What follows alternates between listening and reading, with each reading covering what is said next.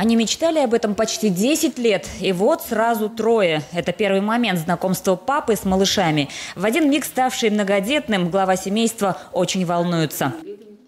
Сейчас посмотрели уже, на кого похоже, как вы считаете? Ну, на меня жена говорит. Я еще пока не пойму. Зато с именами уже определились Андрей, Дмитрий и Анна. Девочка появилась на свет последней, но о себе малышка заявляет гораздо громче своих братьев. Ну вот у нас самая такая шустрая, это дочка, Анечка. Думаю, будет мальчиков строить, наверное. Они как-то, мальчики, поспокойнее чуть-чуть. Вот, даже кормить приходишь, больше всех кричит Анечка. Все, кормите, кормите меня. Дима самый спокойный. Вот Андрейка, он просто, ему надо этот, набирать, набирать вес. Он тоже там покрикивает чуть-чуть. Вот же даже сейчас слышно.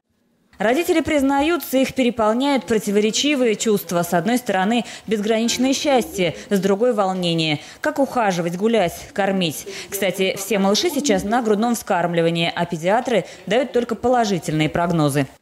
Дети полностью обследованы, э, лечение проведено, дети стабильные, э, мама кормит грудью, у мамы молока достаточно хватает на всех троих. Мама очень позитивная. Я думаю, что у них все будет хорошо. Мы желаем им здоровья, вырасти большими, красивыми. У входа в больницу счастливые родственники с цветами и шарами. Их поддержка и помощь, особенно в первое время, многодетной семье очень пригодится. Дай Бог здоровья им всем.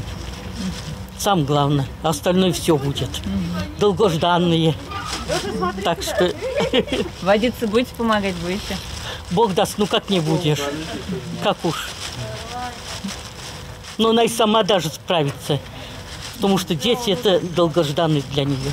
Сейчас в Нижнекамском роддоме появляется на свет от 9 до 14 малышей в сутки. До 150-тысячного младенца, который родится к юбилею города, осталось совсем немного, около тысячи малышей. Кстати, напомню, что юбилейного младенца и его семью ждет большой подарок – квартира.